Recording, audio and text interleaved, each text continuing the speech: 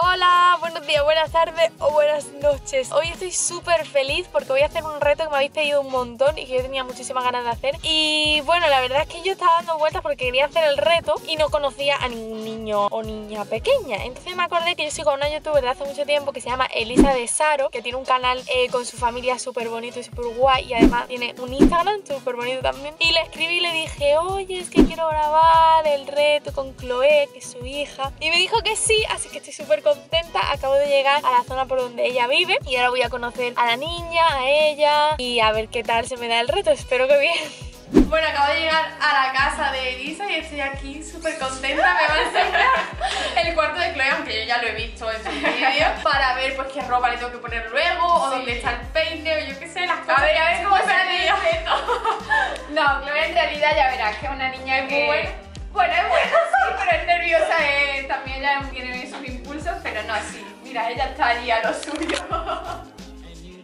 Pues me vengo así. Aquí la casa que está hecho un poco oscuro. Este es su cuarto, aquí ella... Bueno, soy súper fan de la decoración, de verdad, ¿eh?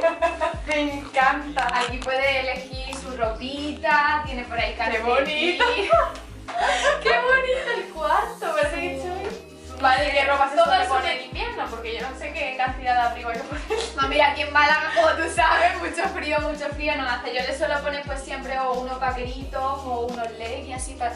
Normalmente en el día a día ya va bastante cómoda. Y luego que hay que peinarla, ¿no? Sí, bueno, peinarla sí es una buena tarea. ¿Sí? ¿Tiene muchos nudos o qué? No, nudos no, porque ella grita y dice, Kiki, no, Kiki, Que no. no quiere. Hay días que sí, que el Kiki le encanta y no se lo quiere ni quitar por la noche y otras veces ¿Pero que- qué? ¿Una coleta? Sí, una coletita o un- dos coletitas, lo que ella ya vaya decidiendo, porque ella decide muchas cosas.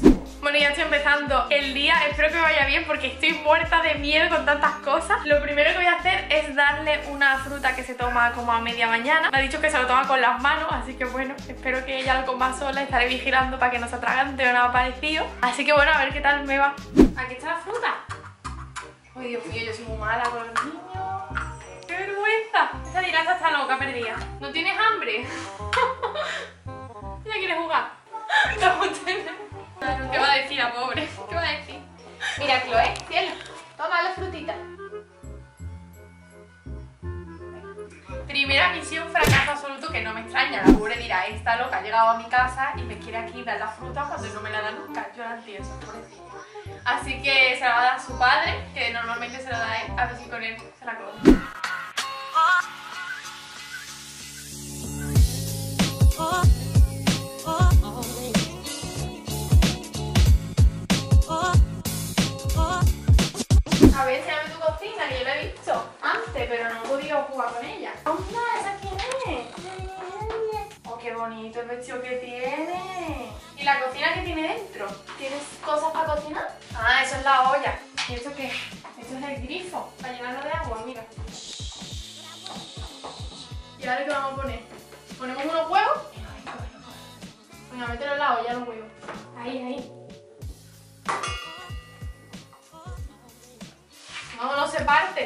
Porque es un huevo duro. Estos huevos no se abren. Hay que meterlo en el agua para que se.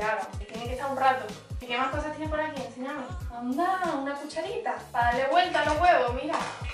Le podemos dar así la vueltecita. Anda, ¿eso qué es? ¡Una cesta gigante! ¡Llena de fruta! ¿Y eso? Eso te hace un helado. Pues hasta así, coge la cucharita. Muy bien. Y ahora se le pone esto aquí. Anda, ya tienes un helado de limón. Naranja. ¿Y esto qué? Manzana. ¿Y esto qué? Pera. Estaba aquí ordenando los libros de Chloe y estaba recapacitando que me está intentando la experiencia de estar en otra casa con niños porque a mí me encantan los niños y no tengo ningún primo ni amiga que tenga hijos tan pequeños entonces estar con Chloe os interesa. No sé si sabéis lo que son los programas pair que básicamente consiste en irte a otro país, a una casa estar en la casa con esa familia aprendes un idioma y cuidas a los niños. Pues estuve investigando y hay una empresa que se llama Cultural Care que tiene unos programas chulísimos, son para irte un año a Estados Unidos, el alojamiento es gratis porque te lo pone la familia, la comida también es gratis y encima te pagan un sueldo de como 200 dólares a la semana, que serían unos 800 dólares al mes, que está muy bien porque no estás gastando en alquiler de la o sea, tú no tienes gastos. Además, tienes la posibilidad de, estando de au ir a clases a un instituto o a una universidad estadounidense y como au tienes un mes de turista, o sea, cuando ya acaba como el programa de au tienes un mes entero que te puedes ir de viaje por Estados Unidos a la zona que más te guste con todo lo que has ganado en el año. Además tienes dos semanas de vacaciones pagadas. Te voy a dejar en la caja de descripción el enlace por si os interesa porque muchos me preguntáis sobre mi intercambio a Estados Unidos, sobre cómo vivir en otro país estos, estos son programas súper súper guay. Además, para irse de au hace falta tener algunos requisitos porque obviamente cualquiera no se va a ir a meterse en una familia a cuidar niños. Eso está todo medido y está todo regulado y está todo controlado, que es lo que me gusta de Cultural Care, que te ayuda muchísimo a hacer este proceso mucho más fácil. El otro día estuve grabando en mi universidad, hice un test a gente de mi edad para ver cómo tenía el nivel de inglés, cogí vocabulario del B1 y del B2, que se supone que hay que tenerlo para acabar la carrera, a ver cómo está la cosa. Y además también le estuve preguntando si conocían el programa de Cultural Care de OPER, así que vamos a ver las respuestas. Sí, he cuidado a niños, a mi hermano chico, vamos. Sí, a mi hermano chico. Sí, la verdad. Sí. Ah, yo no, la verdad. Sí, tengo el B2. El B1. Oficial, bueno, no, no tengo.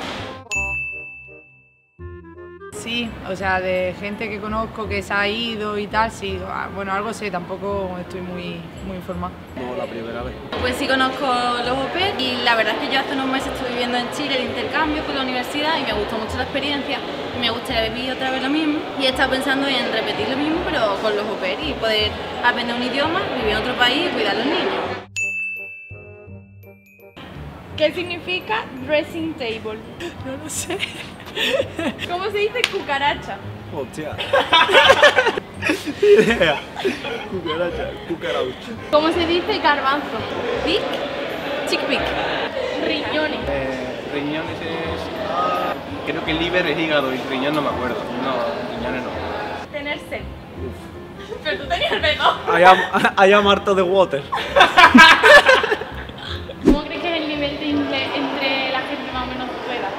bastante pobre para lo que piden. La gente tiene a lo mejor C1 de nivel de saber, pero a la hora de pronunciar y hablar y conversar, menos de un B1 diría yo, en general. Porque un idioma se lo aprende bien estando en el extranjero. Yo recomiendo mucho que la gente universitaria salga de España y vaya a otro sitio donde se hable inglés para mejorar su nivel. Bueno, como veis, el nivel de inglés deja mucho que desear en España. Yo creo que eso es nuestra asignatura pendiente casi de todos los españoles. Sobre todo los universitarios que dejamos de estudiarlo cuando ya acabamos el instituto y en la universidad no tenemos asignaturas en inglés y se pierde muchísimo. Incluso yo, que, entiendo bastante el inglés y sé hablarlo, el hecho de llevar tiempo sin estudiarlo siento que he perdido un montón. De hecho, tengo muchas ganas de, de retomarlo a tope. Y bueno, después de contaros todo esto, que espero que haya interesado, me voy con Chloe, que nos vamos a ir a dar un paseíto y a comer. Ahora vamos a irnos a dar un paseo fuera y a comer, así que le voy a preparar la mochilita a Chloe para salir fuera. Aquí tengo la mochilita de Mini, que es súper bonita, yo no sabía que los niños todavía seguían Mini, la verdad. Le voy a preparar la botellita de agua por si tiene sed cuando salgamos. Tiene una botella de los trolls que me hace mucha gracia porque dicen que es súper fan ahora los niños de los trolls. Así que la voy a rellenar de agua. ¡Uf! Lo he dejado al límite, vaya. Vale, esto está cerrado. Espero que no haya ninguna fuga de agua. Lo voy a meter en la mochilita.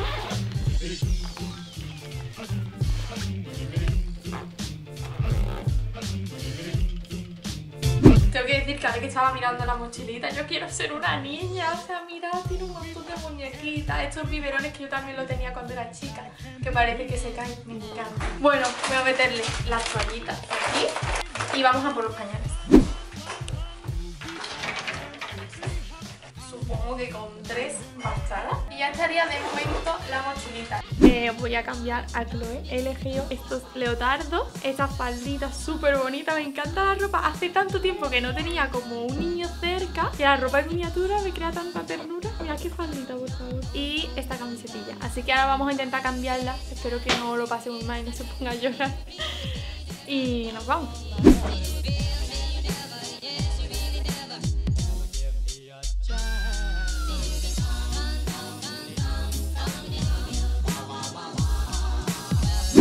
Misión cumplida ya la he cambiado y se ha portado súper bien, me ha encantado, es como tan bonito. Y ahora vamos a peinarla, que me han contado que eso lo lleva un poquillo más peor, que no le gusta mucho, así que espero, pues no sé, que me salga bien. Voy a coger su peine, lo voy a buscar.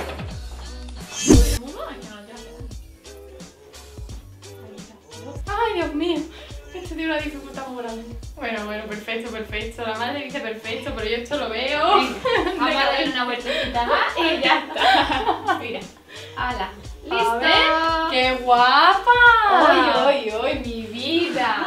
Te has portado muy bien para vestirte. Va a tener que venir Esther a vestirte siempre, peinarte. Mira, es que ella siempre se pone, bueno, hay veces que no, pero normalmente cuando le tenemos que cambiar del pijama a la ropa es como, no sé, yo creo que es la confianza de tener a los padres que se pone hecha a veces un circo y no quiere y te patalea, ¿verdad, mi cielo? Pero con Esther ha sido, yo, vamos, ¿verdad, Diego? Increíble. vamos a contratar de canguro. Vamos a ir a comer a un restaurante que tiene una zona para los niños, para que ella se entretenga, así que a ver qué tal. Creo que este se va a divertir más. Yo sí, yo, yo estoy aquí dispuesta a esto lo está pasando bomba. Había hecho muy buena amiga, ¿eh? te va a tener que venir más. Claro, yo encantada.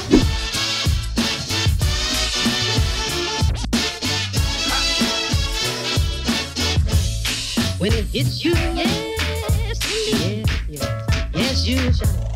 When it hits you, yes. Bueno, pues ya hemos comido, me ha encantado el sitio y todos los platos están todos muy buenos y ahora vamos a dar un paseíto por el paseo marítimo o por un parque. Hace un día de verdad maravilloso, así que hemos venido un ratito al parque, al columpio, a que juegue un rato.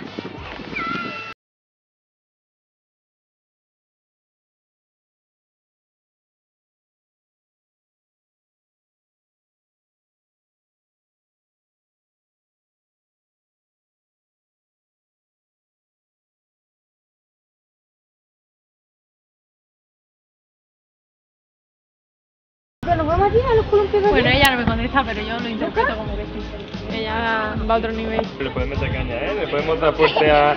Le podemos dar rápido, ¿verdad, Chloe? ¿A ti te gusta? Vamos a ir a la casa a buscar un plastilino. ¿Quieres jugar con plástico, eh? Se está quedando ya en trance. Está entrando en modo siesta. Venga, vamos a ir. Hace mucho frío ya, ¿eh?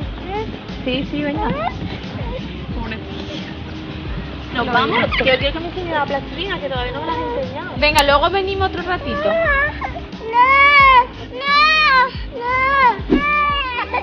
Bueno, no todo es maravilloso. Si veis vídeos donde los niños son maravillosos, no es así. La pobre tiene sueño, quería seguir jugando en el parque y pues está llorando. ¡Mira, mira! ¡Miki! Bueno, pues estamos aquí jugando a las plastilinas, que a mí me encanta. Vamos a hacer un corazón, mira, un corazón morado. ¡Qué guay!